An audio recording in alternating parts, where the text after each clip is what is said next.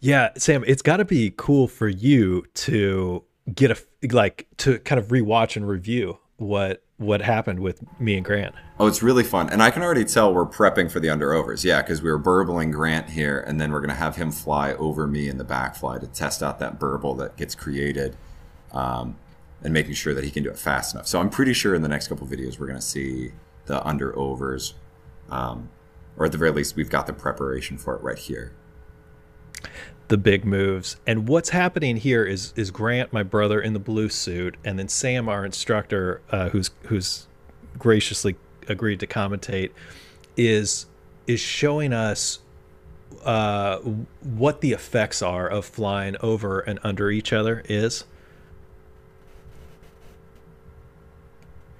So now I jump in, and I think I think Sam, you're trying to show me right the same. Yeah, burbling with the leg, burbling with the arms, uh, trying to see how you're reacting, and it's looking like I'm doing a little too quick. Like maybe I should have given you a couple more of those, to be honest. But oh yeah, you look great. You look great. And if somebody's just watching this, what does it mean to be to to be burbled, or or what does a burble mean, Sam? Yeah, so um, the wind is coming from under you, and you're riding that wind. So if something blocks that wind from uh, between you and where the wind is coming from, you're going to have this sort of vacuum of air where you can uh, actually fall as opposed to being supported by the wind. Um, so if you guys go over and under each other, there will be a moment where you have no traction in the wind, no ability to do anything but just uh, enjoy the momentum that you've created like that, right? You see how he kind of sort of slides a little bit fiercer. Um, and that would be the burble.